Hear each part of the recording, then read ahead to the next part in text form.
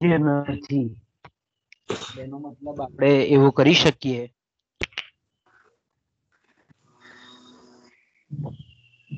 ખાસ કરીને કે નાણું સેવક તરીકેની સારી કામગીરી બજાવી શકે છે. પણ જ્યારે આપણે એમ કહીએ કે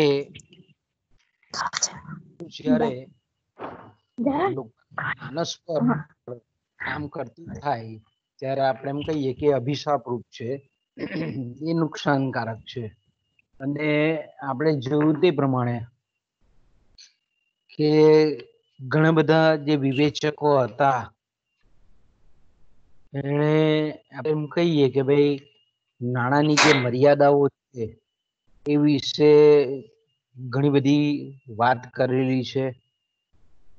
એમાં આપણે રોબર્ટસનનું જોયું કે ભાઈ money is a good servant but bad master એટલે એમ કહીએ કે ભાઈ નાણાંની જે પહેલી મર્યાદા છે કે જ્યાંથી આપણે અટકેલા હતા સવારે, એ છે આર્થિક ઉલ્કાપાતો. એટલે આપણે એમ કહીએ કે અર્થતંત્રની જે આર્થિક અસ્થિરતાઓ છે, એ અસ્થિરતાઓ. આપણે જાણીએ છીએ તે પ્રમાણે કે જ્યારે સાટા પદ્ધતિ હતી ત્યારે વસ્તુ વિનિમય પ્રથા હતી અને નાણાં જેવું આપણે એમ કહીએ કે કોઈ માધ્યમ નહીં હતું વસ્તુના બદલામાં. જ્યારે વસ્તુની આપલે થતી હતી, ત્યારે આપણને અત્યારના સંજોગોમાં જે આપણને અસ્થિરતાઓ દેખાય છે, તે તત્કાલીન સમયમાં જોવા મળતી હતી નહીં.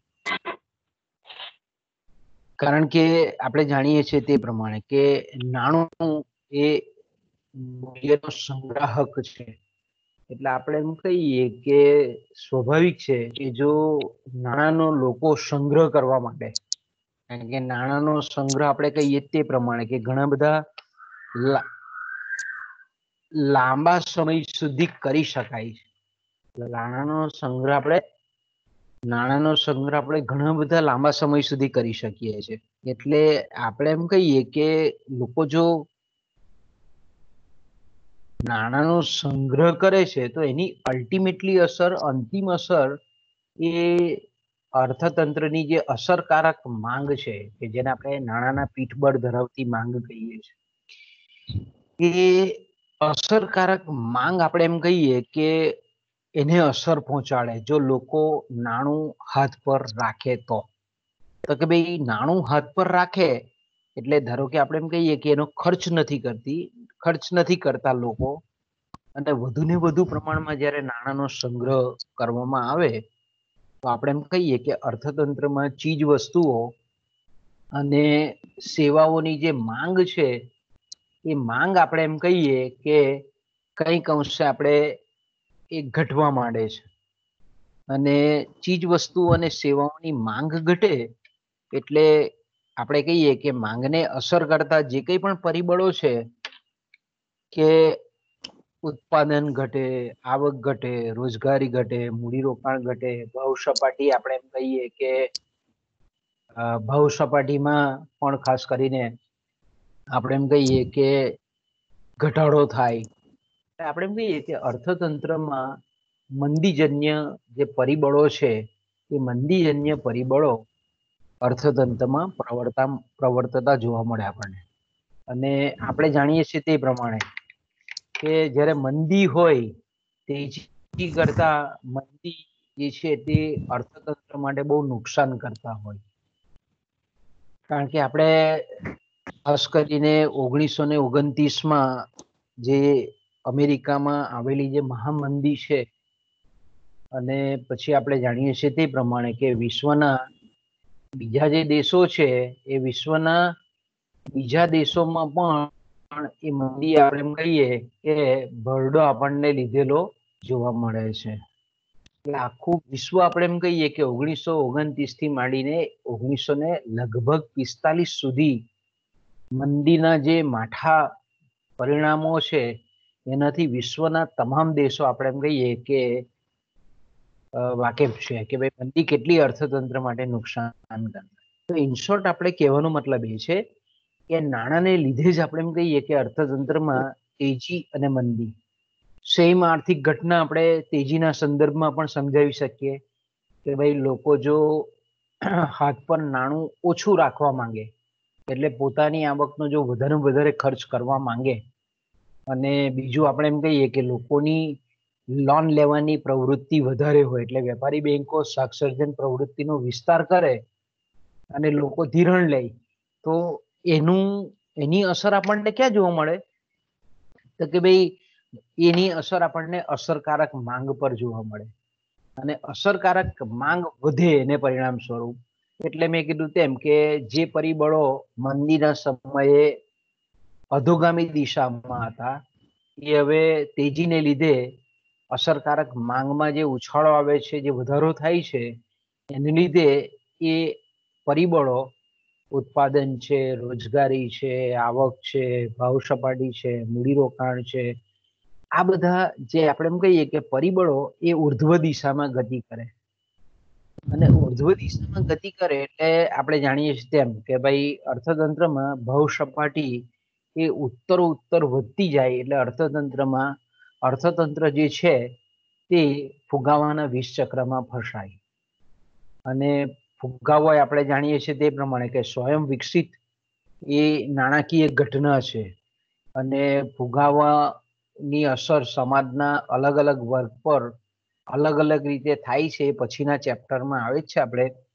તે વખતે ફુગાવાની જે અસરો છે સમાજ પર, આર્થિક વિકાસ પર, આર્થિક વૃદ્ધિ પર એની આપણે પછીથી ચર્ચા ડિટેલમાં કરીશું. પણ ટૂંકમાં આપણે અહીંયા એટલું સમજવાનું છે કે ફુગાવો અને જે મંદી છે એ અર્થતંત્રમાં આ રીતની આર્થિક અસ્થિરતાઓ પેદા કરે છે અને એ અસ્થિરતાઓ અર્થતંત્રને બધી જ રીતે અસર કરતા છે. સામાજિક દ્રષ્ટિકોણથી, આર્થિક દ્રષ્ટિકોણથી, આર્થિક વિકાસના સંદર્ભથી. એટલે આપણે એમ કહીએ ને કે ભાઈ એ અર્થતંત્રને નુકસાન કરે કરે ને કરે છે. ઓકે પછી આપણે જાણીએ છીએ તે પ્રમાણે કે મેં કીધું તેમ કે ભાઈ આપણે નાણું છે તે બ્લડ સમાન છે, શરીર રૂપી જે રીતે લોહીનો રોલ છે આપણા બોડીની અંદર, માણસના બોડીની અંદર, એ જ રીતે અર્થતંત્ર રૂપી જે શરીર છે, એમાં નાણાંનો પણ રોલ એવો જ છે કે ભાઈ આપણે એમ કહીએ કે નાણાંનું અતિ પ્રમાણ, જેને આપણે આપણા બોડીની ભાષામાં વાત કરીએ તો હાઈ બ્લડ પ્રેશર કહીએ. તો હાઈ બ્લડ પ્રેશર પણ આપણે કહીએ કે નુકસાન કરે છે, બરાબર? આપણને એટેક લાવે અથવા તો આપણે મગજની નસો ફાટી જાય તો જો આપણે એમ કહીએ કે બોડીની અંદર જો બ્લડ પ્રેશર વધી જાય, તો ઘણું બધું નુકસાન કરે એ રીતે અર્થતંત્રમાં પણ એવું છે કે ભાઈ જો નાણાંનો પુરવઠો વધી જાય. એમ કહીએ કે અર્થતંત્રમાં ફુગાવો આવે અને ફુગાવાના માઠા પરિણામો અત્યારના જો આપણે લેટેસ્ટ કન્ટ્રીઓ જોઈએ, તો બ્રાઝિલ છે. એ બ્રાઝિલનું બેસ્ટ એક્ઝામ્પલ અપાય કે ત્યાં ફુગાવાનો દર ઘણા બધા પાંચ આંકડાઓમાં છે, એટલો બધો વધારે ફુગાવાનો દર છે. આપણે એમ કહીએ કે આખું અર્થતંત્રને આપણે એમ કહીએ ને કે અસ્તવ્યસ્ત કરી નાખે. આખી અર્થતંત્રની તમામ સમતુલાઓ છે, એ તમામ સમતુલાઓને આપણે એમ કહીએ કે એ બગાડી નાખે છે. ઓકે, એટલે આપણે એમ કહીએ કે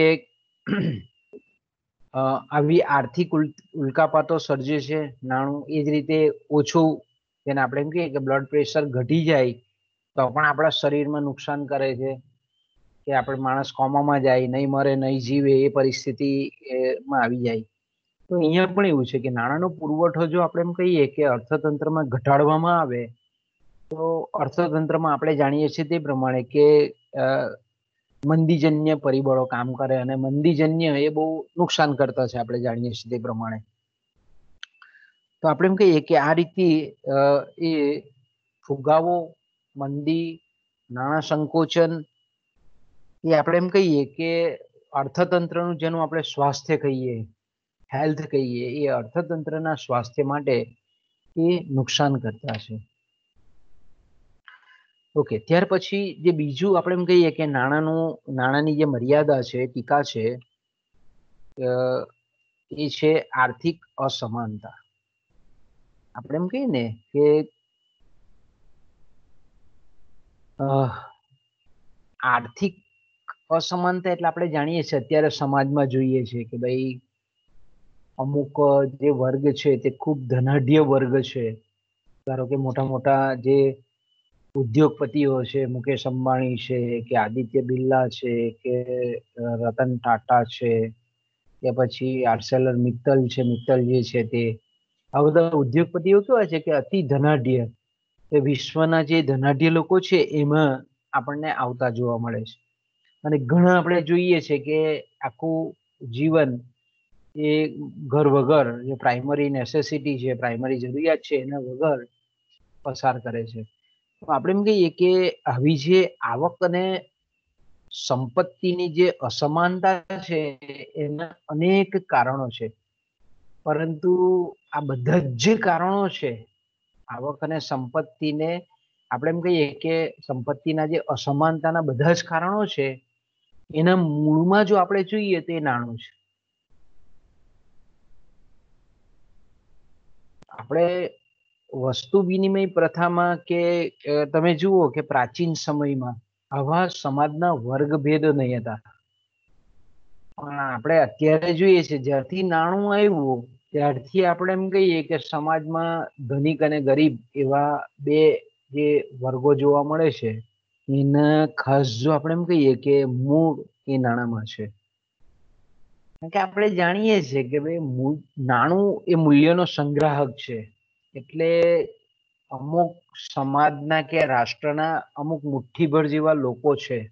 એ લોકો શું કરે છે? એની પાસે જે કંઈ પણ કમાણી આવે છે, જે કંઈ પણ આવક આવે છે, જે કંઈ પણ સંપત્તિ છે, એની બચત કરી કરીને એ સતત આપણે એમ કહીએ કે મૂડી રોકાણ વધારે વધારે છે તો આપણે એમ કહીએ કે મૂડી રોકાણ ઉત્તરોત્તર વધે એટલે સ્વાભાવિક છે કે નાણું નાણાંને ખેંચે આપણે વ્યવહારિક ભાષામાં કહેવત છે ને, કે પૈસાદાર લોકો વધારે પૈસાદાર થાય. પૈસો પૈસા નહીં, આપણે એમ કહીએ કે ઉત્તર ઉત્તર જેની પાસે સંપત્તિ આવક છે, સંપત્તિ છે, એ લોકો શું કરે છે?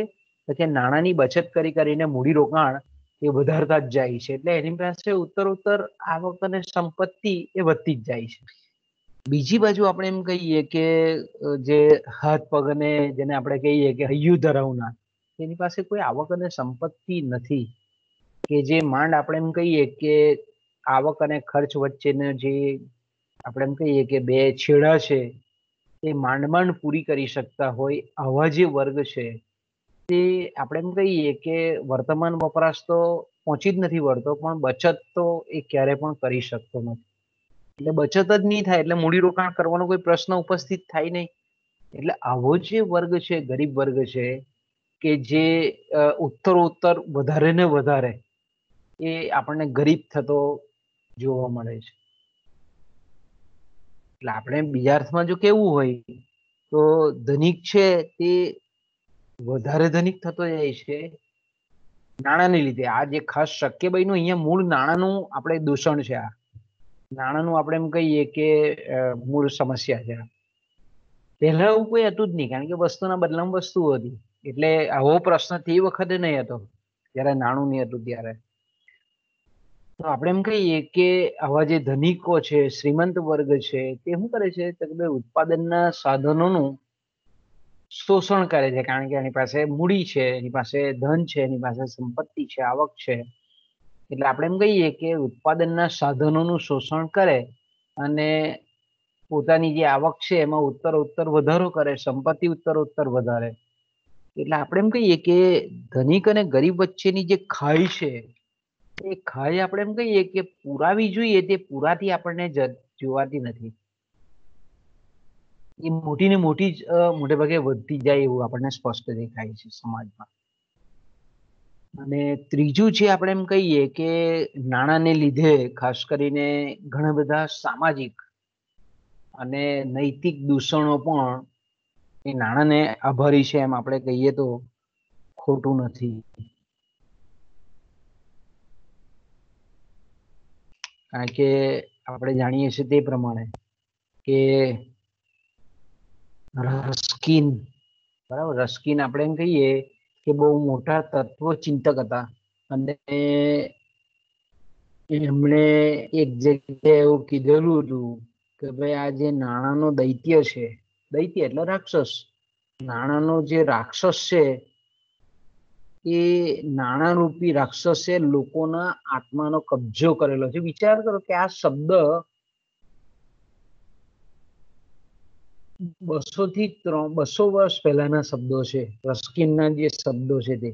તો તે વખતે આ પરિસ્થિતિ હતી. તો અત્યારે વર્તમાન આધુનિક સમયમાં તો આપણે એના કરતા થોડી પરિસ્થિતિ વધારે બગડી હોય એવું આપણે જોઈ શકીએ છીએ સમાજમાં. એટલે આપણે એમ કહીએ કે રસ્કીને એવું કહેતા હતા કે નાણાંના જે રાક્ષસ છે, નાણાંનો જે દૈત્ય છે, એણે લોકોના આત્માનો કબજો લીધો છે, કબજો કરી લીધો છે. એટલે આત્મા જેવું કઈ રહ્યું જ નથી એમ. આત્મા જેવું નાણા માટે બધું જ સર્વસ્વ આપણે એમ કહીએ કે નાણા માટે બધી જ હદે જવા તૈયાર છે આપણે એમ કહીએ. એટલે આજે નાણારૂપી રાક્ષસ છે, એને સમાજમાંથી, વ્યક્તિના આત્મામાંથી, વ્યક્તિના મનમાંથી કાઢી નાખવાની કોઈ ધર્મ કે કોઈ ફિલસુફની તાકાત નથી. રસ્કીન શું કહે છે? બહુ સરસ કહે છે. રસ્કિન એવું કહે છે કે આ રાક્ષસ એટલો બધો ઊંડો, આપણે એમ કહીએ કે લોકોના માનસ પર, લોકોના આત્મા પર, લોકોના મન પર કબજો કરાયો, કરી દીધેલો છે કે એને કાઢવો ખરેખર બહુ મુશ્કેલ છે. એ જ રીતે આપણે જાણીએ છીએ તે પ્રમાણે કે ખાસ કરીને જે વોન માઇસિસ બરાબર જર્મનીના હતા.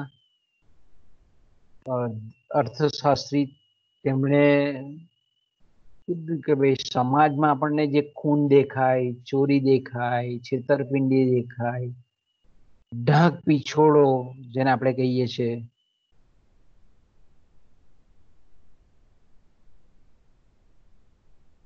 આ બધાનું કારણ નાણું છે. વન માઇસી શું કે સમાજના જે કંઈ પણ અનર્થો છે, આપણને જે જોવા મળે છે. આપણે કહીએ ને કે ચોરી છે, છેતરપિંડી છે, કિડનેપિંગ છે, દગાબાજી છે, લૂંટફાટ છે ઢાંકપી છોડો છે, આ બધાનું કારણ નાણું છે. ઇવન આપણે એમ કહીએ કે ગણિત, ગણિકા તે પોતાના દેહને વેચે છે એની પાછળ બી જો કંઈક જવાબદાર પરિબળ હોય તો તે નાણું છે. આપણે જોઈ શકીએ છીએ કે કોર્ટના વકીલો છે, ન્યાયાધીશો છે મોટા મોટા ડોક્ટરો છે, પોલીસ અધિકારીઓ છે કે જેને સુરક્ષા આપણે કરવાની છે આપણી. આ બધા પણ લોકો આપણે એમ કહીએ છીએ કે પોતાનું પોતાની જે કંઈ પણ પ્રમાણિકતા છે, પોતાની જે કંઈ પણ આપણે એમ કહીએ કે નૈતિક ફરજો છે, એને સાઈડ પર મૂકી અને આપણે એમ કહીએ કે જે ન્યાયિક નિર્ણય લેવો જોઈએ, એની જગ્યાએ આપણે સમાજમાં જોઈએ છીએ કે અન્યાયી પગલાઓ, અન્યાયી નિર્ણયો લેવાતા હોય છે. તો એની પાછળનું કોઈ જો જવાબદાર પરિબળ હોય, તો એ આપણે એમ કહીએ કે નાણું છે. એટલે આપણે એમ કહીએ કે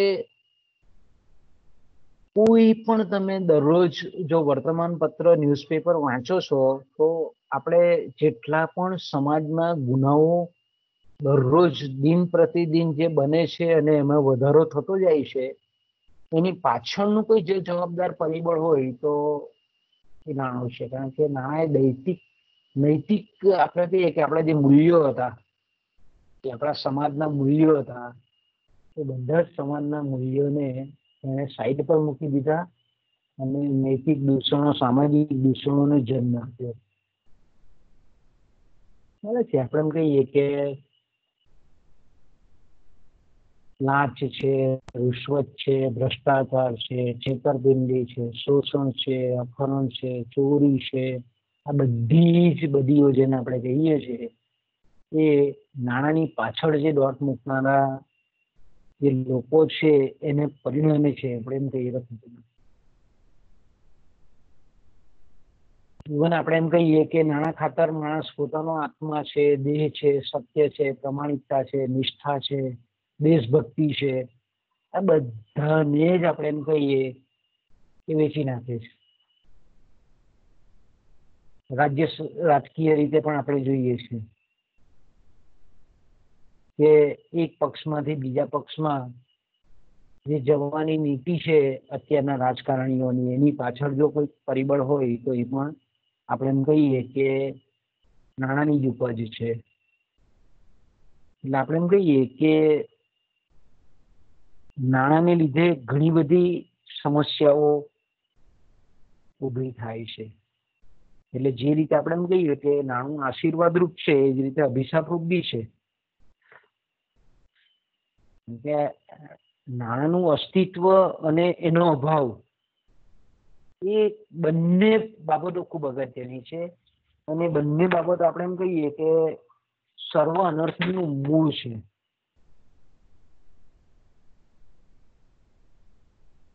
ખાસ કરીને આપણે જાણીએ છીએ તે પ્રમાણે કે દેશની જે મધ્યસ્થ બેંક છે, દેશનું જે જે યુનિયન મિનિસ્ટ્રીનું નાણાં ખાતું છે એના મોટા ભાગનો આપણે એમ કહીએ કે જે કંઈ પણ નાણાકીય નીતિ છે, એનો મુખ્યત્વે જોગ કોના પર હોય છે? તો કે ભાઈ નાણાંનું યોગ્ય રીતે નિયમન થવું જોઈએ. એના પર આપણે એમ કહીએ કે ખાસ કરીને એનો આપણને જોગ જોવા મળે છે.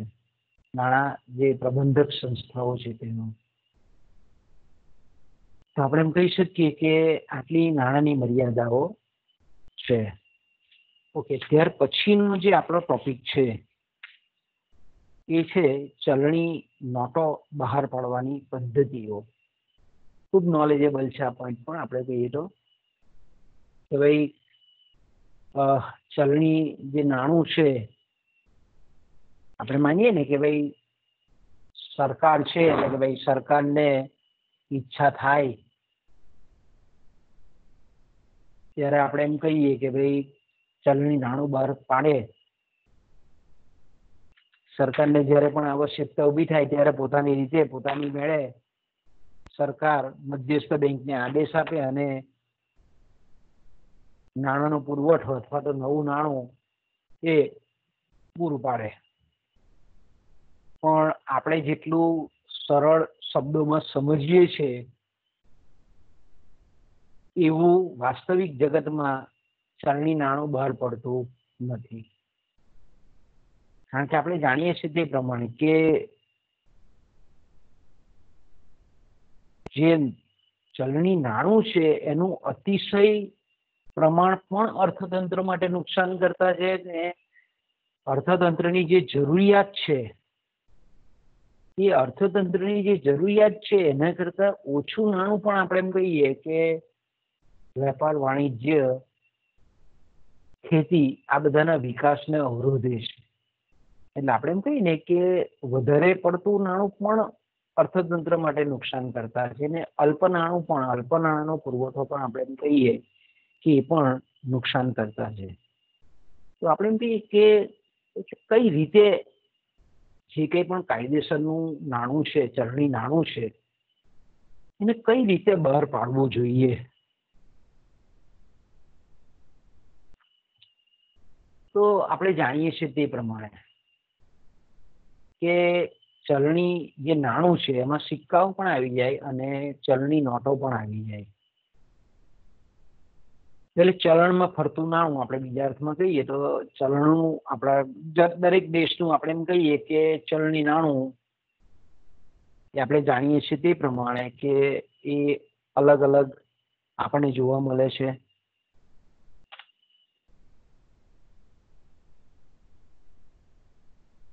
ધારો કે આપણું ભારતીય ચલણી નાણું એ રૂપિયા એટલે મીન્સ કે રૂપિયામાં છે.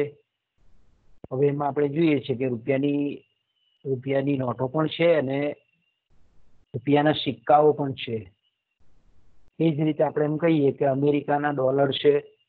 અમેરિકન ડોલર જેને આપણે કહીએ તે કેનેડાના કેનેડિયન ડોલર છે. ઇંગ્લેન્ડના પાઉન્ડ છે, જેને આપણે પાઉન્ડ સ્ટર્લિંગ કહીએ છીએ. એ જ રીતે ચીનનું યુહાન છે ચલણ. યુવાન એ જ રીતે જાપાનનું યેન છે. આપણે કહીએ કે દરેક દેશોનું આ રીતે ચલણી નાણું હોય.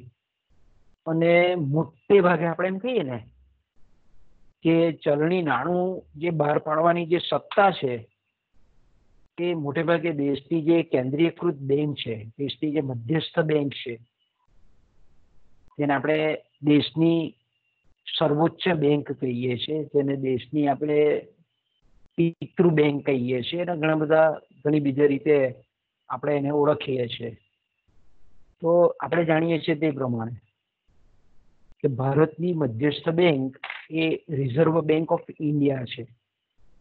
ઓગણીસો ને ચોત્રીસમાં આરબીઆઈ એક્ટ વાળી અને એ પહેલા ખાનગી ક્ષેત્રની બેંક હતી. ત્યાર પછી એને ઓગણીસો ને ઓગણપચાસમાં આપણે એમ કહીએ કે એનું જાહેર ક્ષેત્રમાં રૂપાંતર કરવામાં આવ્યું. એની સ્થાપના આપણે એમ કહીએ કે ઓગણીસો ને ચોત્રીસમાં થઈ ગઈ હતી. અને મોટા ભાગના દેશો આપણે એમ કહીએ કે જે આંતરરાષ્ટ્રીય જેને આપણે બ્રિટન વુડ સમજૂતી કહીએ છીએ, એ પ્રમાણે આપણે દરેક દેશોમાં જે નાણાકીય સત્તા છે, જેને આપણે ઇંગ્લિશમાં ફાઇનાન્શિયલ સિસ્ટમ કહીએ છીએ, એ નાણાકીય સત્તાની જે આપણે એમ કહીએ કે તમામ નિયંત્રણ એ દેશની મધ્યસ્થ બેંકના શિરે હોય છે. અને લગભગ આપણે એમ કહીએ ને કે આજે વિશ્વના તમામ દેશોની જો વાત કરીએ આપણે, તો ચલણી નોટો એ મોટા ભાગની દરેક દેશોની મધ્યસ્થ બેંકો જ એ બહાર પાડે છે. એટલે આપણે એમ કહીએ કે વીસમી અને એકવીસમી સદીની વાત કરીએ આપણે, તો કે ઓગણીસો એકથી માંડીને અત્યારે બે હજાર વીસ ચાલે છે, એટલે કે ખાસ કરીને ઓગણીસમી સદી અને સોરી વીસમી સદી અને એકવીસમી સદી. એટલા માટે જ આપણે કહીએ કે મધ્યસ્થ બેંકને બેંક ઓફ ઇસ્યુ તરીકે ઓળખવું ઇસ્યુ એટલે પબ્લિકેશન કરે છે તે. ઇસ્યુ એટલે જે ચલણી નોટો બહાર પાડે છે તે. એટલે એના માટેનો શબ્દ છે I double S U E issue એટલે ચલણી નોટોનું છાપકામ કરવું બહાર પાડવું. એટલે આપણે એમ કહીએ કે ખાસ કરીને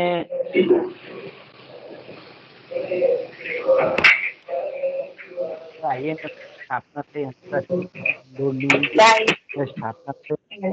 અને પછી આપણે એમ કહીએ કે આફ્રિકા છે, એશિયા છે, લેટિન અમેરિકાના જેટલા પણ દેશો છે મોટાભાગના, એમાં કેન્દ્રીય બેંક એટલે કે મધ્યસ્થ બેંકની સ્થાપનાને એક જાતનું આપણે એમ કહીએ કે બળ મળ્યું.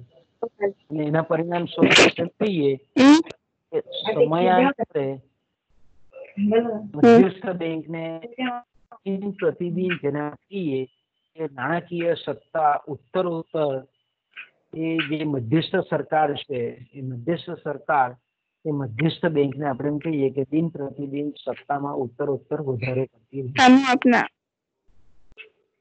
તો આપણે એમ કહીએ કે મધ્યસ્થ બેંક ચલણી નાણું બહાર પાડે છે બરાબર? એ ચલણી નાણું જે બહાર પાડે છે તો શા માટે આપણે એમ કહીએ કે મધ્યસ્થ બેંકને ચલણી નાણું બહાર પાડવાની સત્તા આપવામાં આવેલી છે?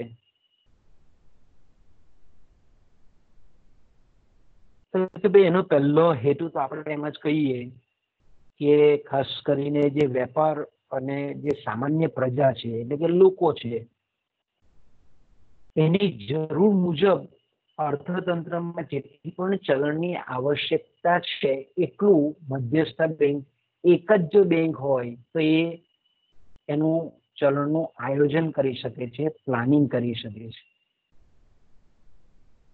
એટલા માટે આપણે એમ કહીએ કે મધ્યસ્થ બેંકને ચલણી નોટો બહાર પાડવાનો ઇજારો આપવામાં આવે છે. ઇજારો શબ્દ જો અહીંયા શબ્દ છે ઇજારો ઇજારાની વ્યાખ્યા આપણે જાણીએ છીએ કે જ્યારે એક જ ઉત્પાદક હોય વસ્તુ કે સેવાનો, તો તેને આપણે મોનોપોલી કહીએ છીએ ઇજારો કહીએ છીએ.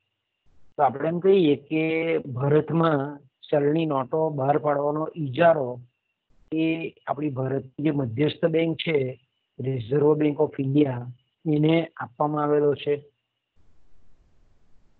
તો કે ભાઈ ઈજારો આપવા પાછળનું મેં પહેલું કારણ કીધું પ્રમાણે કે ભાઈ અર્થતંત્રની જે સામાન્ય પ્રજાની એટલે કે લોકોની અને વેપાર ધંધા અને અન્ય જે ક્ષેત્રો છે એની જે કંઈ પણ ચલણ અંગેની આવશ્યકતા છે, જરૂરિયાત છે, એ જરૂરિયાત મુજબ એ લોકોને ચલણ આપવું, એનું નિયંત્રણ કરવું, એટલા માટે એક તો પહેલો એને ઈજારો આપવામાં આવે છે.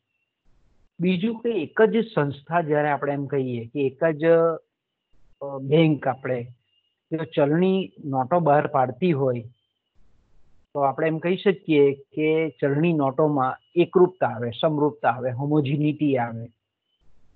પહેલા કેવું હતું કે પહેલા આવી મધ્યસ્થ બેંક ન હતી, ત્યારે આપણે એમ કહીએ ને કે બેંક ઓફ બરોડા છે, કે પછી પંજાબ નેશનલ બેંક છે સ્ટેટ બેંક ઓફ ઇન્ડિયા છે ઇમ્પિરિયલ બેંક ઓફ ઇન્ડિયા તે વખતે હતી, કહેવાતી હતી.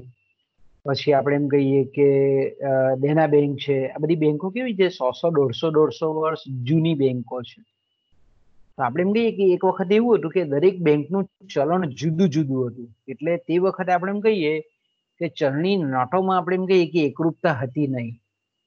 જો આપણે એમ કહીએ કે મધ્યસ્થ બેંકને જો આ સત્તા આપવામાં આવે, તો ચલણી નોટોમાં એકરૂપતા સ્થપાય. એકરૂપતા એટલા માટે જરૂરી છે કે સામાન્યમાં સામાન્ય માણસ પણ એ ચલણ પદ્ધતિને સમજી શકે એ મૂળભૂત હેતુ છે.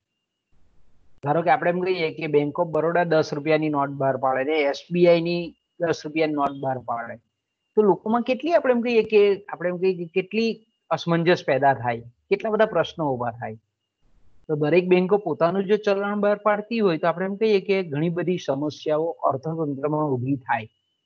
એટલે જો આપણે કહીએ કે મધ્યસ્થ બેંકને જો ચલણી નાણું છાપવા દેવામાં આવે તો એમાં એકરૂપતા આવે.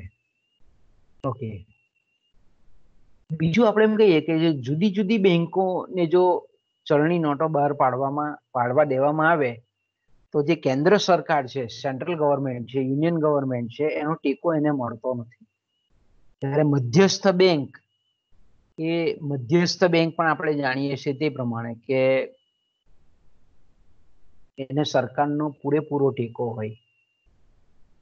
એટલે આપણે એમ કહીએ કે સરકારના ટેકા બીજી બધી બેંકોને પણ સરકારનો ટેકો હોય છે, પણ મધ્યસ્થ બેંકને સરકારનો વધારે આપણે એમ કહીએ કે આધાર હોય છે, ટેકો હોય છે, સપોર્ટ હોય છે.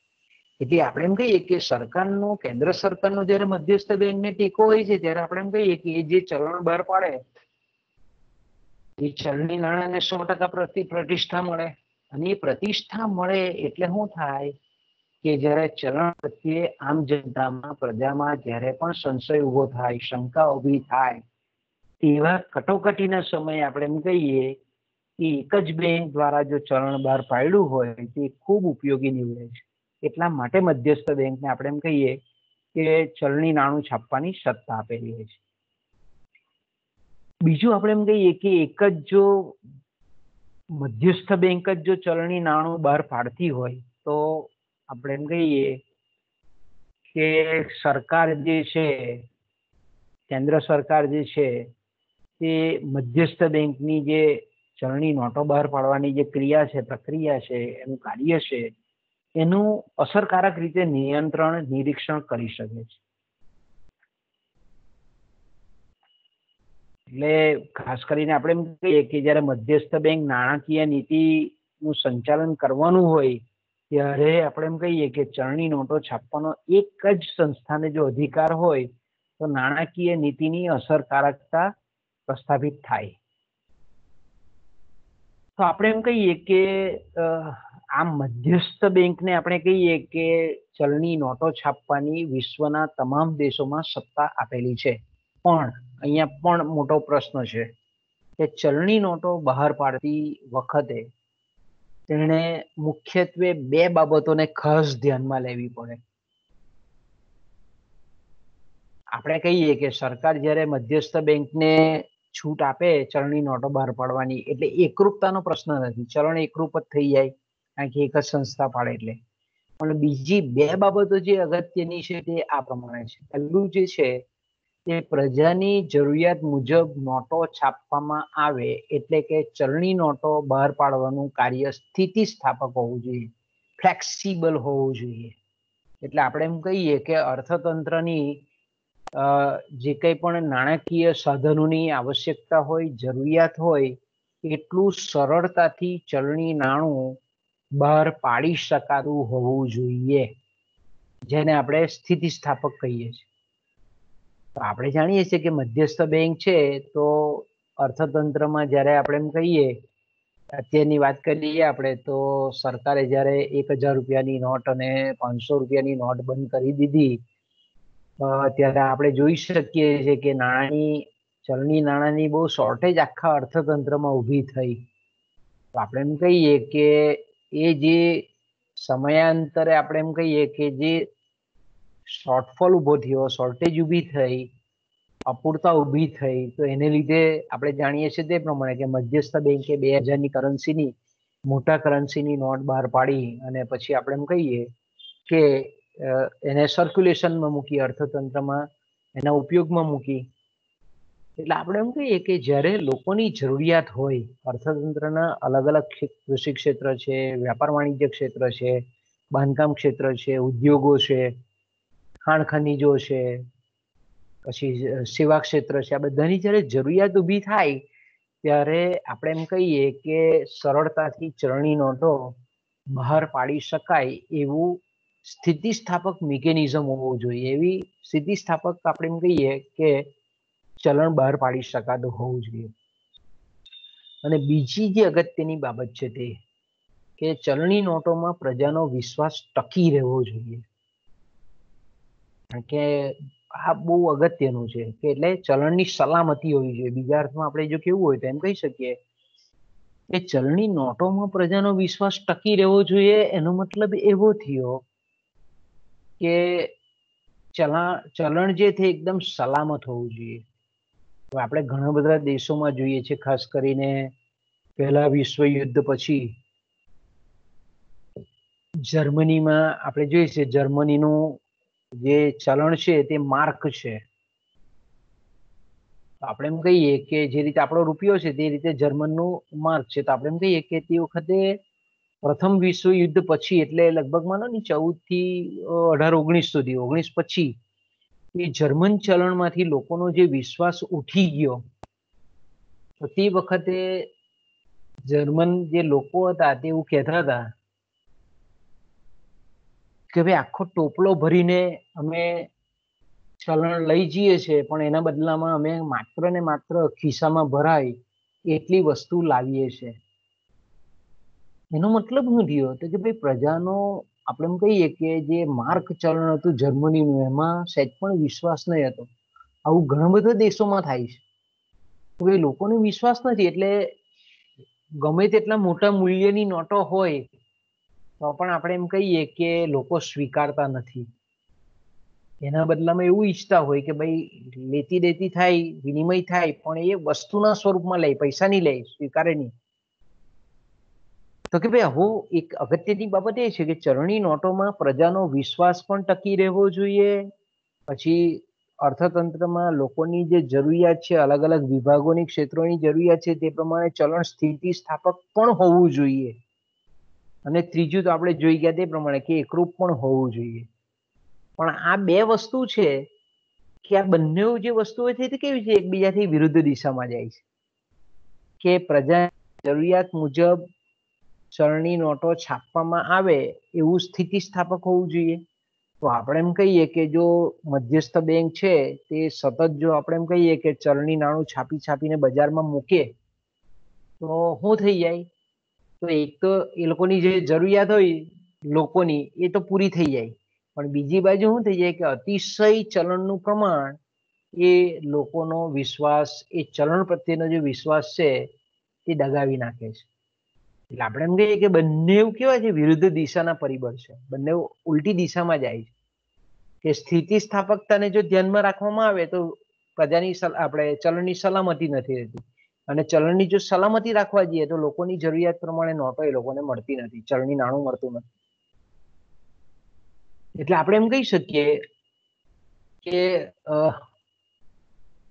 આવા જે આપણે એમ કહીએ કે ચલણમાં પ્રજાનો વિશ્વાસ જળવાઈ રહે, સ્થિતિસ્થાપકતા જળવાઈ રહે, એટલા માટે આપણે એમ કહીએ કે જ્યારે પણ ચલણી નાણું જ્યારે બહાર પાડવામાં આવે છે, ત્યારે આંતરરાષ્ટ્રીય લેવલે ઘણી બધી આ બાબતમાં સમજૂતીઓ થઈ, ઘણા બધા આપણે એમ કહીએ કે સિદ્ધાંતોની રચના થઈ ઘણી બધી અલગ નીતિ રીતિ પદ્ધતિઓ અમલમાં આવી. એટલે આપણે એમ કહીએ કે આ બંને ઉચિત ચલણી નોટો બહાર પાડવાના જે સિદ્ધાંતો હતા, આપણે કહીએ કે ઉદ્દેશો હતા, કે ભાઈ સલામત બી હોવું જોઈએ અને સ્થિતિસ્થાપક બી ચલણ હોવું જોઈએ, એ માટેના બે સિદ્ધાંતો બહાર પડાયા. પહેલો જે સિદ્ધાંત છે, તેને આપણે ચલણ સિદ્ધાંત કહીએ છીએ અને આપણે પ્રિન્સિપલ ઓફ કરન્સી કહીએ. અથવા તો એને કરન્સી પ્રિન્સિપલ તરીકે પણ ઓળખવામાં આવે છે. અને બીજો જે સિદ્ધાંત છે તે પ્રિન્સિપલ ઓફ બેન્કિંગ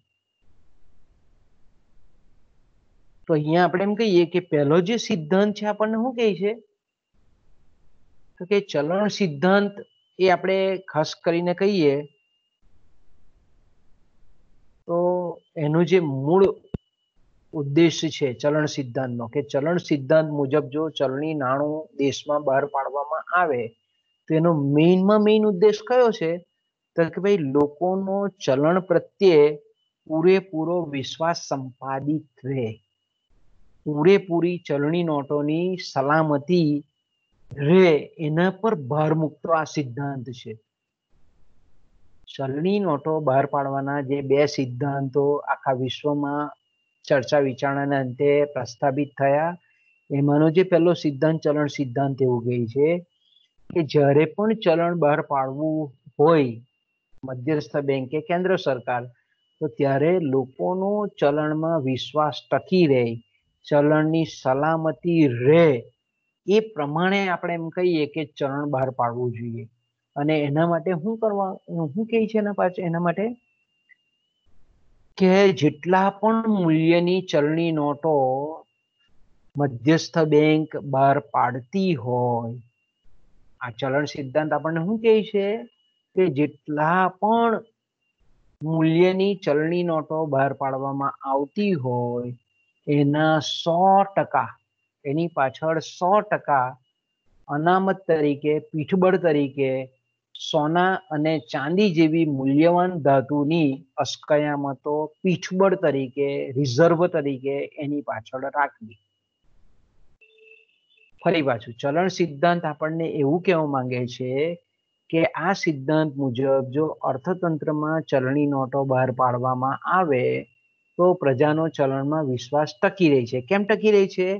કારણ કે જેટલા મૂલ્યની ચલણી નોટો બહાર પાડવામાં આવે છે એટલા મૂલ્યનું સોનું કે ચાંદી એ પીઠબળ તરીકે, મોટે ભાગે સોનાનો ઉપયોગ પીઠબળ તરીકે થતો હતો. પણ આપણે એમ કહીએ કે મૂલ્યવાન ધાતુમાં ચાંદીનો પણ સમાવેશ થતો હતો. એટલે આપણે એમ કહીએ કે સોના અને ચાંદી જેવી જે મૂલ્યવાન ધાતુ છે, એને પીઠબળ તરીકે રાખવામાં આવતી. ઓકે, એનો મતલબ હવે એવું થાય કે ધારો કે ભારતમાં એક સો કરોડ રૂપિયાની ચલણી નોટોની જરૂરિયાત છે. ભારતમાં સો કરોડ રૂપિયાની ચલણી નોટોની જે જરૂરિયાત છે, તો એ ચલણી નોટો સરકાર કે મધ્યસ્થ bank, reserve bank of India એમનેમની બહાર પાડી શકે. જો આ સિદ્ધાંતનો ઉપયોગ કરવાનો હોય, તો સો કરોડ રૂપિયાનું સોનું અથવા તો સો કરોડ રૂપિયાનું સોનું ચાંદી મિક્સ એને પીઠબળ તરીકે મધ્યસ્થ બેંકમાં રાખવું પડે તો જ એ ચલણી નાણું બહાર પાડી શકે. એટલે સો ટકા પીઠબળ તરીકે, એટલે સો કરોડનું સોનું ચાંદી, કારણ કે સોનાના ભાવ જે તે વખતે જે તોલાના ભાવ હોય તે તે પ્રમાણે એના ભાવ હોય, તે પ્રમાણે સો કરોડ રૂપિયાનું મૂલ્યનું સોનું અનામત તરીકે, પીઠબળ તરીકે રાખવું પડે.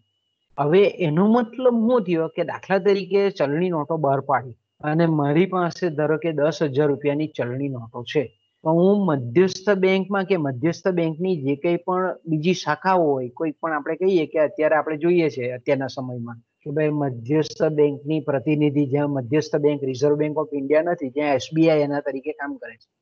તો ધારો કે મારી પાસે દસ હજાર રૂપિયા છે અને મારે એ ચલણી નોટો મારે નથી જોઈતી, મારે એના બદલામાં સોનું જોઈએ તો આપણે એમ કહીએ કે દસ હજાર રૂપિયા લઈને એ મધ્યસ્થ બેંકમાં જાય તો એને એટલા મૂલ્યનું સોનું તરત પાછું એને આપવામાં આવતું એટલે લોકોને શું થતો વિશ્વાસ હતો કે ભાઈ હું જે ચલણ, મારી પાસે જે ચલણી નાણું છે, એ ભલે કાગળના સ્વરૂપનું છે, એ કાગળનું કોઈ મૂલ્ય નથી, પણ એને હું બેંકમાં જો જમા કરાવીશ તો મને એટલા મૂલ્યનું સોનું મળશે. એટલે લોકોનો વિશ્વાસ હતો ચલણમાં. એટલે પ્રજા તે વખતે આપણે એમ કહીએ કે જ્યારે ને જેટલા પ્રમાણમાં ચલણી નોટોનું પરિવર્તન છે, ત્યારે તેટલા પ્રમાણમાં એ શક્ય બનતું હતું. એટલે ચલણમાં પ્રજાનો વિશ્વાસ આ પદ્ધતિ, આ સિદ્ધાંત પ્રમાણે ટકી રહેતો હતો. પણ આપણે જાણીએ છીએ તે પ્રમાણે કે આ ચલણ સિદ્ધાંત, એ આપણે એમ કહીએ કે ચલણી નોટોની પૂરેપૂરી સલામતી દર્શાવતો સિદ્ધાંત છે. અને સાથે જો આપણે એમ કહેવું હોય તો એવું પણ કહી શકીએ કે આ સિદ્ધાંતના અમલ દ્વારા જો ચલણી નોટો બહાર પાડવામાં આવે, તો આપણે એમ કહીએ કે અર્થતંત્રમાં ફુગાવો પણ નહીં આવે. કારણ કે નાણાંનો પુરવઠો જેટલી વખતે મધ્યસ્થ બેંકે સરકારે પાડવો હોય, તો એટલા મૂલ્યનું સોનું એની પાસે પીઠબળ તરીકે હોય, તો જ એ આપણે એમ કહીએ કે ચલણી નાણું નવું બહાર પાડી શકે. એટલે આપણે એમ કહીએ કે અર્થતંત્રમાં નાણાંના પુરવઠાનું પ્રમાણ પણ અવિરત રીતે મધ્યસ્થ બેંક વધારી નહીં શકે. અને નાણાંનું પરિમાણ જો અવિરત રીતે વધે નહીં, તો ફુગાવા જેવા પ્રશ્નો એ અર્થતંત્રમાં આવે નહીં. એટલે આ ચલણ સિદ્ધાંતના બે ફાયદા હતા. પહેલો જે ફાયદો છે તે કે લોકોનો પ્રજાનો એ ચલણમાં વિશ્વાસ ટકી રહે છે. જ્યારે ઈચ્છે ત્યારે એ મૂલ્યવાન ધાતુમાં એ ચલણી નોટોનું પરિવર્તન કરી શકે છે. બીજું આપણે એમ કહીએ કે સોના અને ચાંદીના જે સિક્કાઓ હતા તેના બદલામાં ચલણી નોટો, કાગળની જે નોટો છે, કાગદી નોટો, એ આપણે એમ કહીએ કે સર્ક્યુલેશનમાં રહેતી હતી.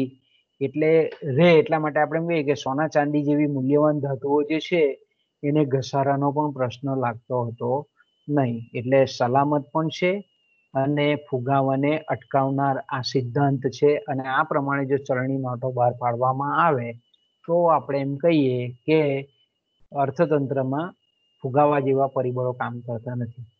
તો આપણે એમ કહીએ કે આ સિદ્ધાંત સૈદ્ધાંતિક દ્રષ્ટિએ બહુ આકર્ષક લાગે આકર્ષક લાગે. બરાબર? સૈદ્ધાંતિક દ્રષ્ટિએ આપણને કેવું લાગે કે ના, સિદ્ધાંત પ્રમાણે ચલણી નાણું બહાર પાડવું જોઈએ. પણ વ્યવહારિક જગતમાં, વાસ્તવિક જગતમાં આપણે એમ કહીએ કે આ સિદ્ધાંત છે તે બહુ આપણે એમ કહીએ કે એની મર્યાદા છે. કારણ કે આપણે જાણીએ છીએ પ્રમાણે. અત્યારે જો આપણે વાત કરીએ તો કોઈ પણ દેશની જે સરકાર છે અથવા તો કોઈ પણ દેશની જે મધ્યસ્થ બેંક છે તે આ સિદ્ધાંત મુજબ ચલણી નોટો બહાર પાડતી નથી. કેમ કે આ સિદ્ધાંત કેવો છે? જળ છે જળ સિદ્ધાંત છે. અર્થતંત્રમાં જો આપણે એમ કહીએ કે નાણાકીય સાધનોની કે ચલણી નોટોની જો જરૂરિયાત વધારે થાય, આર્થિક વિકાસ થાય, આર્થિક વૃદ્ધિ થાય, તે તે સમયે આપણે જાણીએ છીએ તે પ્રમાણે કે ચલણી નોટોની આવશ્યકતા વધારે હોય. તો આપણે એમ કહીએ કે આ સિદ્ધાંત પ્રમાણે એટલે કે ચલણ સિદ્ધાંત પ્રમાણે જો ચલણી નાટું, નાણું બહાર પાડવામાં આવે, તો કેવું બને છે? એ અસ્થિતિ સ્થાપક ફ્લેક્સિબલ નથી. કારણ કે જ્યાં સુધી સોનાનો જથ્થો મધ્યસ્થ બેંક પાસે નહીં આવે, ત્યાં સુધી એ નવી નોટો બહાર પાડી શકે નહીં. તો બીજી બાજુ આપણે એમ કહીએ કે અર્થતંત્રમાં વિકાસમાં વિકાસશીલ અર્થતંત્ર હોય, તો વિકાસશીલ અર્થતંત્રમાં તો નાણાંની જરૂરિયાતો પુષ્કળ હોય. તો આપણે એમ કહીએ કે આવા દેશની જે નાણાકીય જરૂરિયાતો જ્યારે વધતી હોય, પણ સોનાની અનામતો જો પૂરતા પ્રમાણમાં નહીં હોય, તો ચલણી નાણું વધારી શકાતું નથી. એટલે આર્થિક વિકાસ પર પરોક્ષ રીતે આપણે એમ કહીએ કે રોક લાગી જતી હોય એવું દેખાય. બીજું આપણે એમ કહીએ કે આ સિદ્ધાંત, ખાસ કરીને અલ્પ વિકસિત જે દેશો છે, કારણ કે અલ્પ વિકસિત દેશોમાં આપણે જાણીએ છીએ તે પ્રમાણે કે ભાઈ અલ્પ વિકસિત દેશોમાં મૂડી સાધનોનું પ્રમાણ ઓછું હોય છે. અલ્પ વિકસિત દેશોમાં જો આપણે એમ કહીએ કે સોનું તે વખત આપણે જાણીએ છીએ તે પ્રમાણે કે આંતરરાષ્ટ્રીય વિનિમયનું એક અગત્યનું માધ્યમ હતું. અત્યારે આપણે વિદેશી હુંડિયામણના દર દ્વારા વિદેશી ચલણની આપણે કરીએ છીએ. પણ એક સમય એવો હતો જ્યારે આ સિદ્ધાંતની આપણે વાત કરતા હતા ત્યારે કે એ વખતે એવો હતો કે આંતરરાષ્ટ્રીય વિનિમયના માધ્યમ તરીકે સોનાનો સ્વીકાર થતો હતો. તો આપણે એમ કહીએ કે અલ્પ વિકસિત દેશો તો ખરેખર તો આપણે એમ કહીએ કે એ લોકોએ આર્થિક વિકાસની માટે મૂડીના સાધનો, નાણાકીય સાધનો અથવા ચલણી નાણું વધારે જોઈએ. પણ આપણે એમ કહીએ કે આવા દેશોને એક તો સોનાનો પુરવઠાની અછત નથી હતી કારણ કે સોનાની ખાણો હોય તો ઠીક છે કે ભાઈ એનું ઉત્પાદન કરીને એને પીઠબળ તરીકે મૂકી શકાય. પણ જે દેશોમાં સોના ચાંદીની ખાણો નહીં હતી, ત્યાં આપણે એમ કહીએ કે એવા જે રાષ્ટ્રો છે, ત્યાં આપણે એમ કહીએ કે ઝડપથી આર્થિક વિકાસ સાધી શકાતો ન હતો. બીજું આપણે એમ કહીએ કે આ સિદ્ધાંતમાં સો ટકા અનામત તરીકે સોનાની અસ્કયામતો મૂકવાની હોવાથી સોનું જે અગત્યનું આપણે એમ કહીએ કે વિનિમયનું માધ્યમ જે તે વખતે હતું તેની જે અનામતો છે તે મધ્યસ્થ બેંકમાં નિષ્ક્રિય રીતે પડી રહે. એનો ઉપયોગ જે અર્થતંત્રના વિકાસ માટે થવો જોઈએ, તે અહીંયા પીઠબળ તરીકે, અનામત તરીકે પડી રહે મૂલ્યવાન વસ્તુ. તો આપણે એમ કહીએ કે અર્થતંત્રમાં આપણે એમ કહીએ કે વિકાસની તકો એ જતી કરતા હોય એવું આપણને સ્પષ્ટ આ સિદ્ધાંત પ્રમાણે લાગે. ઓકે, તો આપણે એમ કહીએ કે આ જે ચલણ સિદ્ધાંતની જે મર્યાદા હતી એને દૂર કરવા માટેનો બીજો સિદ્ધાંતનો ઉપયોગ કરાયો, અમુક દેશોમાં કરાયો સ્ટાર્ટિંગમાં એને આપણે કહીએ છીએ બેન્કિંગ સિદ્ધાંત. તો કે બેન્કિંગ સિદ્ધાંત એવું કહેવા માંગે છે કે મોટા ભાગે દરેક દેશમાં આપણે જોઈએ તો લોકોની, લોકોનું વલણ કેવું હોય? કે ક્યારે પણ ચલણી નોટો છે એ નોટોનું મધ્યસ્થ બેંકમાં સોના ચાંદીમાં પરિવર્તન કરવાની ક્યારે પણ માંગ નથી કરતી. કોઈ પણ વ્યક્તિ હોય, બરાબર? તો કોઈ પણ વ્યક્તિ આપણે એમ કહીએ કે ચરણી નોટો આપીને એના બદલામાં સોનું ચાંદી ભાગ્યે જ મધ્યસ્થ બેંક પાસે લેવા જાય. બાકી કોઈ આપણે કહીએ કે એના બદલામાં સોના ચાંદીમાં એ નાણાંને રૂપાંતરિત કરે. એટલા માટે આ સિદ્ધાંત એવું કહે છે કે ચલણી નોટો જ્યારે મધ્યસ્થ બેંક બહાર પાડતી હોય, તો આ સિદ્ધાંત પ્રમાણે એવું કહેવા માંગે છે કે સો ટકા એની પાછળ પીઠબળ તરીકે જે મૂલ્યવાન ધાતુ છે, એની અનામતો રાખવાની જરૂર નથી. પણ જેટલા મૂલ્યની ચલણી નોટો બહાર પાડવાની છે, એના અમુક ચોક્કસ ટકા, અમુક ચોક્કસ ટકાવારી પ્રમાણે, ચોક્કસ ભાગ પ્રમાણે મૂલ્યવાન ધાતુઓ અનામત તરીકે રાખવી જોઈએ. આપણે એક દાખલો લઈએ. ધારો કે આપણે પહેલા સિદ્ધાંતમાં જોયું તે પ્રમાણે, ચલણ સિદ્ધાંતમાં. કે ભાઈ સો કરોડના મૂલ્યની ચલણી નોટો જો બહાર પાડવી હોય ભારતમાં, તો આપણે એમ કહીએ કે સો કરોડનું સોનું રાખવું પડે. પણ બેન્કિંગ સિદ્ધાંત એવું કહે છે કે સો કરોડની નોટો બહાર પાડવી હોય, તો જે નક્કી કર્યા હોય ધારાધોરણ, કે ભાઈ વીસ ટકા સોનું રાખવાનું, તો વીસઠ ટકા સોનું રાખવાનું, બાકીની ચલણી નોટો ગમે તેટલી પાડી શકાય. જેટલા મૂલ્યની સો કરોડની નોટો પાડવી હોય તો ખાલી વીસ કરોડનું સોનું રાખવાનું અને બાકીની એસી કરોડ એટલે મીન્સ કે સો કરોડની નોટો પાડી શકે બહાર. એટલે અમુક જે નક્કી કરેલો જે નિર્ધારિત ભાગ છે, અમુક ચોક્કસ ટકાવારી છે, એ પ્રમાણે મૂલ્યવાન ધાતુઓ રાખવાની. એ દરેક દેશોમાં અલગ અલગ હોય એનો એનો નિયમો. કોઈકમાં દસ ટકા હોય કોઈમાં વીસ ટકા હોય, કોઈમાં ત્રીસ ટકા હોય, કોઈમાં ચાલીસ ટકા પણ હોય. એટલે જેટલા મૂલ્યની ચલણી નોટો બહાર પાડવાની હોય, એના પાછળ આ જે ટકાવારી પ્રમાણે નક્કી કરેલું હોય, તે પ્રમાણે સોનાની અસ્કયામતો રાખવાની હોય અને પછી એટલા મૂલ્યની નોટો બહાર પાડી શકે છે. હવે જે રીતે આપણે એમ કહીએ ને કે જે વેપારી બેંકો છે, એ રીતે જે રીતે શાક સર્જન કરે છે, લોનનું ધિરાણ કરે છે ધિરાણ સર્જન કરે છે, એ જ પ્રકારનું છે. કે ભાઈ જે વેપારી બેંકો છે, તે શું કરે છે?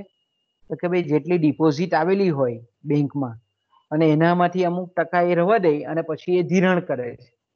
તો અહીંયા મધ્યસ્થ બેંક પણ આ જ નિયમો પર ચાલે છે કે ભાઈ ચલણી નોટોના જેટલા મૂલ્યની નોટો પાડવી હોય એના અમુક ટકા કિંમતી ધાતુઓ રાખવાની. બાકીની આપણે એમ કહીએ કે જામીનગીરીઓ છે સરકારની કે વિદેશી જામીનગીરીઓ, એને પીઠબળ તરીકે રાખવાની. તો આપણે એમ કહીએ કે બેન્કિંગ સિદ્ધાંત આપણને કેવો લાગે? સારો લાગે. ચલણ સિદ્ધાંત કરતા કે ભાઈ એ ફ્લેક્સિબલ છે, અસ્થિતિસ્થાપક છે. અર્થતંત્રમાં વેપાર ઉદ્યોગની જે જરૂરિયાત છે, એ મુજબ આપણે એમ કહીએ કે ચલણી નોટો ઇઝીલી બહાર પાડી શકાય. એટલે આપણે એમ કહીએ કે આ સિદ્ધાંત પ્રમાણે, એટલે કે બેન્કિંગ સિદ્ધાંત પ્રમાણે જો ચલણી નોટો જો આપણે કહીએ કે છાપવાનો અધિકાર જો મધ્યસ્થ બેંકને આપવામાં આવે, તો અર્થતંત્રમાં આપણે એમ કહીએ કે ચલણી નોટોનું પ્રમાણ જરૂરિયાત પ્રમાણે વધતું જતું રહે. પણ અહીંયા આપણે એમ કહીએ કે આ જે પદ્ધતિ છે તેની પણ એક મર્યાદા છે. અને એ મર્યાદા એ છે કે અતિશય જ્યારે મધ્યસ્થ બેંકને ચલણી નાણું છાપવાનો છૂટો દોર આપવામાં આવે અને જો આપણે એમ કહીએ કે મધ્યસ્થ બેંક એમાં કોઈ જો વિવેક નહીં રાખે, તો તેવા સંજોગોમાં આપણે એમ કહીએ કે અતિશય ચલણી નાણાંનું પ્રમાણ એ લોકોમાં ચલણ પ્રત્યે અવિશ્વાસ પેદા કરે છે. એટલે આપણે એમ કહીએ કે આ સિદ્ધાંત એકલો પણ કામનો નથી, કારણ કે અહીંયા સ્થિતિસ્થાપકતા છે, પણ સલામતી નહીં. ચલણમાં સ્થિતિસ્થાપકતા સ્થપાઈ છે, પણ અહીંયા સલામતી નથી, પ્રજાનો વિશ્વાસ નથી. ચલણ સિદ્ધાંતમાં આપણે એમ કહીએ કે સલામતી છે, પ્રજાનો વિશ્વાસ છે, પણ સ્થિતિસ્થાપકતા નથી, એ જળ છે.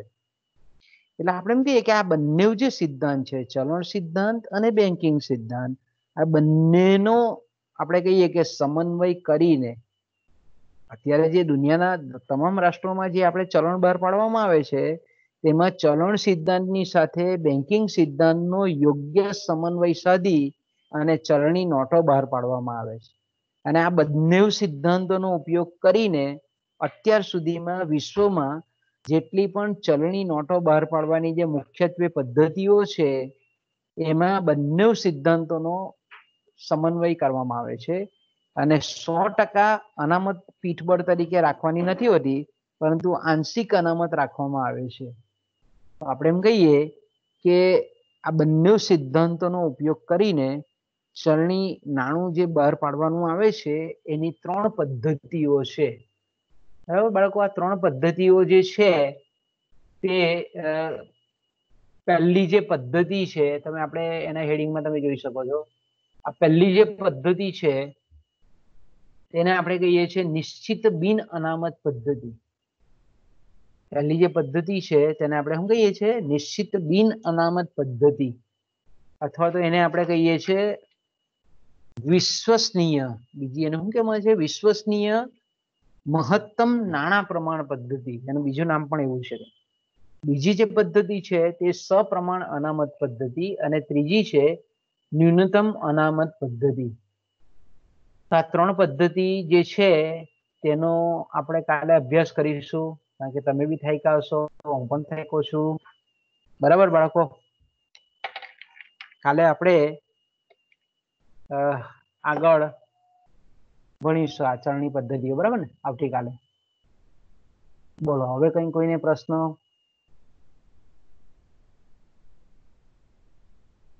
છે બાળકો, કોઈને પ્રશ્ન કઈ? તો અહીંયા મીટિંગ આપણે પૂરી કરીએ? બોલો બાળકો મીટિંગ પૂરી કરીએ એમ કહો? બધા ઊંઘી તો નહીં ગયા ને?